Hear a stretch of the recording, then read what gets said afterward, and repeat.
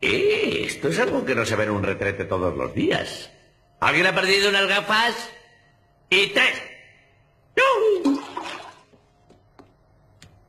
El cuadrado de la hipotenusa es igual a la suma de los cuadrados de los catetos en un triángulo isósceles. En un triángulo rectángulo.